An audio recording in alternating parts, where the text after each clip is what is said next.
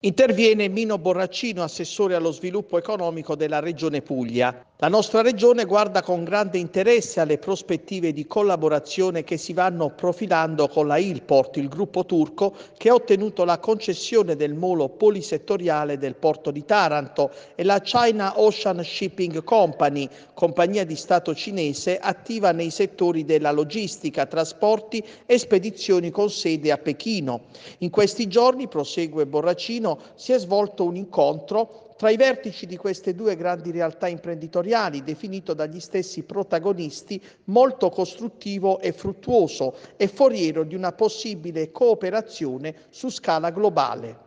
Noi auspichiamo afferma Borraccino che questa imminente collaborazione tra il colosso turco che gestisce il molo polisettoriale del capoluogo ionico e la compagnia di Stato cinese Cosco possa coinvolgere anche il porto di Taranto che potrebbe diventare uno snodo di fondamentale importanza nell'ambito della cosiddetta nuova via della seta, l'imponente progetto infrastrutturale che collegherà l'estremo oriente con l'Europa. Sarebbe questo un risultato straordinario che premierebbe gli sforzi che il tessuto produttivo e imprenditoriale pugliese e in particolare ionico, oltre alle organizzazioni sindacali e alle associazioni del territorio, hanno posto in essere per sensibilizzare i vari livelli istituzionali sull'inserimento del porto di Taranto nell'ambito della Via della Seta.